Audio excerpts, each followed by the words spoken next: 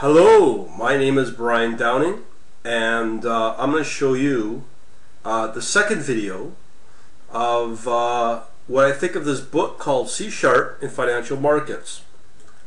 Now, as I introduced in my first video, I did talk about, I've segregated the chapters. This is a monster of a book, about 860 pages or something like that, but it's, it's quite, quite, quite lengthy. And uh, what I've done is I have divided up these chapters, one into technical, focusing obviously on C sharp, and the other one more focusing on algorithms and industry stuff, like for financial. So um, this video will be a lot shorter, but there will be some little little talk about C sharp. But if you want the real C sharp stuff, go over to the other video. Um, but this book is really good um, in a lot of ways. Um, called obviously C Sharp for Financial Markets, um, written by these authors. Uh, and uh, the nice thing I like about this book is that it focuses on bond and bond pricing, fixed income, as well as options. And it gives a fairly decent little intro to all the different um, uh, terms and all those sort of things uh, in both fixed income and options and it gives a really good set of examples uh, in C Sharp and how to apply all these techniques. And it's very heavily um, uh, heavily focuses a lot on the quantity, what looks to be complicated mathematical formulas and whatnot you see in Wilmott and whatnot. But the cool thing about this book is, um, again, if you're fairly new to all this stuff, uh, fixed income and options, this is a really good uh, quick start uh, into the world of quant. Uh, if, if you're strong in math, I'm not, but I'm getting there. I'm getting better at it. But the cool thing about it is I've seen a lot of these uh, calculations and equations from Wilmott and uh, Paul Wilmott's monster uh, derivative quant series, as well as John Hull's book as well. So what I'm fi figuring, this is going to help me understand and get into those more complicated books through this uh, book, uh, the C Sharp for Financial Markets. Not only that, um, it's going to help me really understand other things I didn't really know. Uh, as I said, bonds, bond pricing, and options. So let's get to it. Now the advantage with options and oh, sorry bonds and bond pricing, uh, when the when the markets tank, which they will. Everything is very cyclical. Uh, you can always move into the boring, yep, boring bond market. I mean, 2009 on the other book, when you look at the stats, U.S. Treasuries, man, was was the strongest from 2008 up until about 10, 11. So fixed income is really useful for when the markets go the other way, down, uh, to protect yourself, because that's where everybody uh, dumps their money basically. So let's get into it. All right, so uh, we understand uh, optionality. This is chapter uh, seven, uh, and uh, all the other chapters missing from the video are here, and what I talk about, I guess. Um, obviously, time value of money, how to code up a, a bond class, measuring yield measuring duration convexity, uh, creating date schedulers, uh, some intro to uh, dates from C Sharp.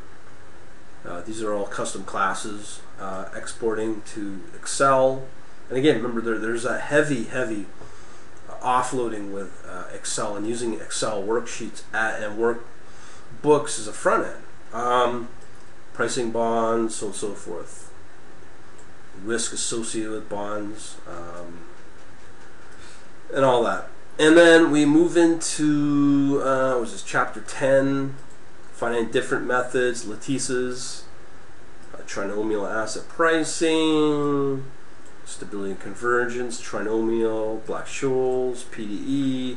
Again, I've seen a lot of this in my MATLAB days, uh, so it's all here now in C Sharp. So this is what you could code up for a production environment for at least to start off with, for sure. Um, explicit schemes, finite defin, uh, uh, difference uh, method, stability, uh, all these different ADE, ADE, Black Scholes, ADE methods, summary, all that. Now this is important. Uh, interpolation, I say that slowly because I can never say that properly. uh, and now this is with interest rate applications. Now this is kind of funny because you know, I talk to a lot of uh, students or recent students that are now obviously graduates that are in introductory jobs. They're all working in banks. Uh, so these type of applications they're working on. And a lot of them work in Excel, a lot of them work in .NET. This is how they do it. And this is what they learn. So you're taking, well, obviously not four, probably six years of advanced uh, university, condensing it in 10 second description, but it's not like that. But this is where they end up, a lot of them. Um, so basically, they're doing curve building, the formula, curve shaping, into interpolators. Thank you. If you're laughing, uh, how to do linear and cubic spline. Uh, all these different methods here: polynomial, rational, binomial, bilinear. Sorry. Um, more examples, cubic spline, blah, blah, blah, blah, blah, blah. Uh, also, uh, and this is how the derivatives are, are done. The world of evil world of derivatives. Uh, and this is specifically for futures and options. Overview, we like those. Uh, risk and money market uh, transactions.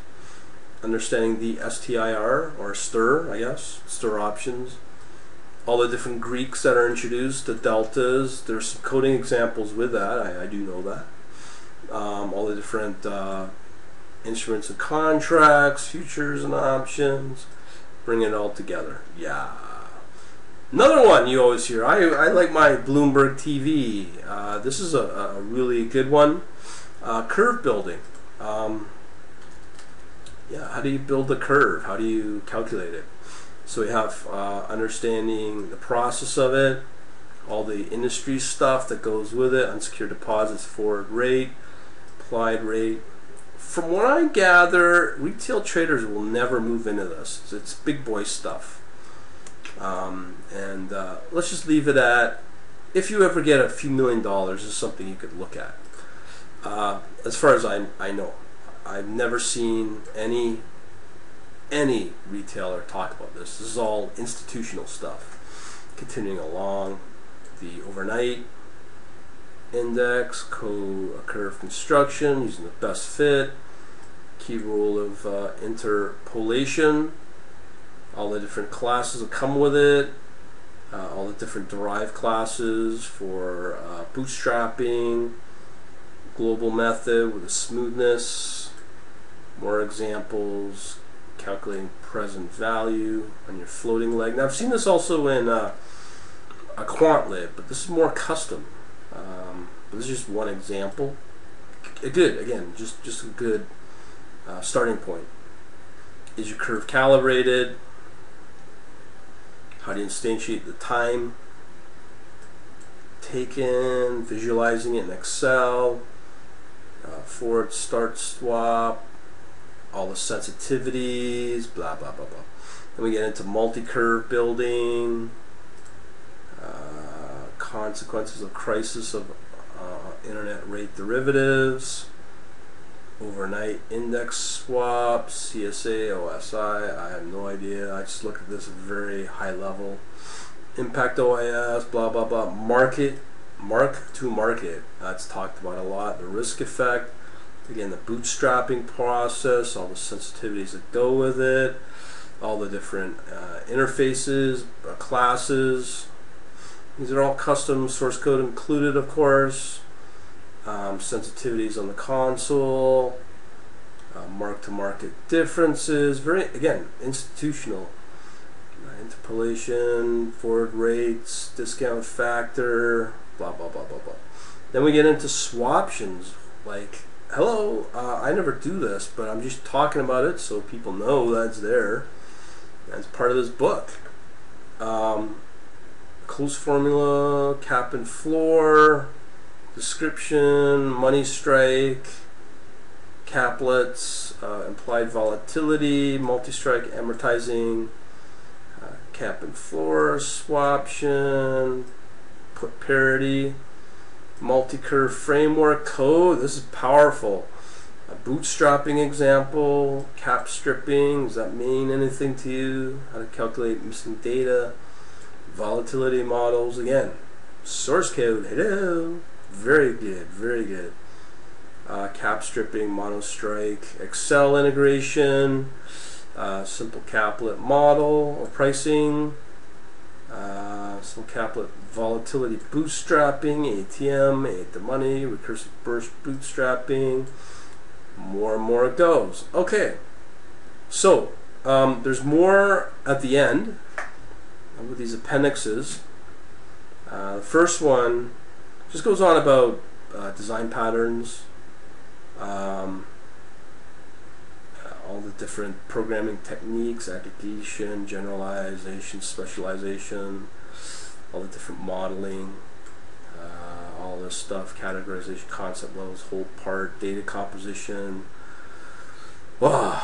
Okay, uh, nonlinear least squared. Um, this is the second part.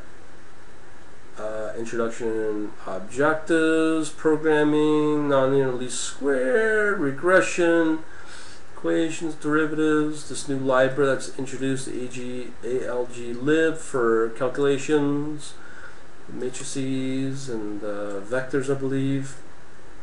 An application example of curve building, rate calibration. Um, wow, this just goes on and on and on and on. Mathematical background for alternating direction, ADE. Now, I think one of these two chapters here, or sorry, appendices, uh, no, it's actually this one that talks about more moving into um, uh, how to how to uh, do uh, high, high, high frequency trading, and then there's some other chapters that I mentioned in the other video as well. So Goes on about ADE, one factor, Black-Scholes, one factor, boundary, an example.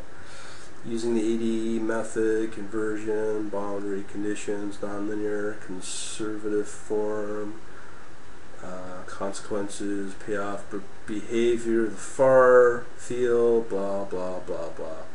Again, I don't know what that means, but it sounds cool. Makes me a PhD, I guess. All right, um, cap for uh, swaption using the Excel DNA.